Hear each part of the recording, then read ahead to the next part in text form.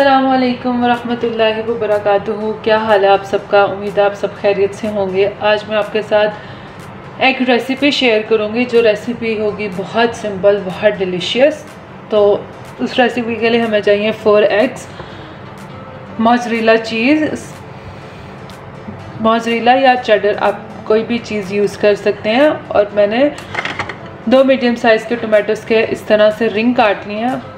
और मेरे पास है ऑलिव ऑयल सॉल्ट और ब्लैक पेपर हम यूज़ करेंगे। तो चलें, अब हम एग रेसिपी स्टार्ट करते हैं। फ्राइंग पैन में मैं डाल लेती हूँ olive oil two two three tablespoon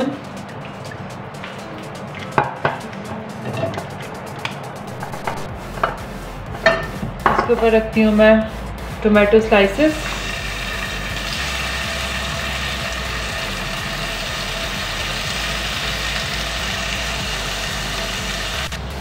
salad frying pan में मैंने रख लिए टोमेटो स्लाइसेस इसके ऊपर मैं स्प्रिंकल करूँगी सॉल्ट और ब्लैक पेपर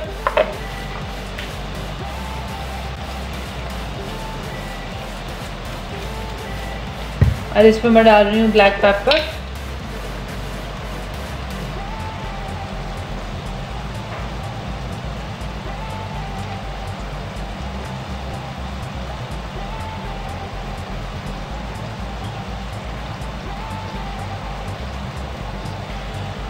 दो मिनट में एक साइड से टोमेटो स्लाइसेस को कुक करूँगी और दो मिनट एक साइड से।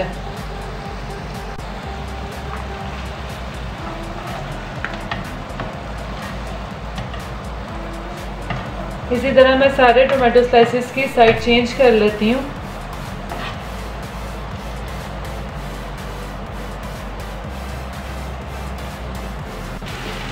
एग को कर लिया मैंने बीट अब एग मैं इन टमाटरों के ऊपर डाल देती हूँ।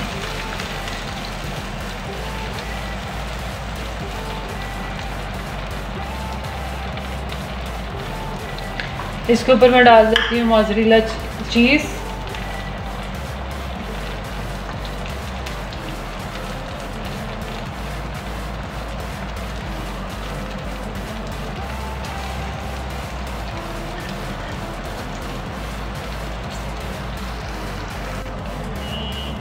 और इसको मैं कवर करके रखती हूँ स्लो फ्लेम पर तीन से चार मिनट के लिए।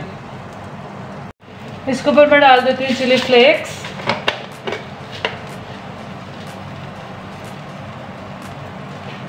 और पार्सले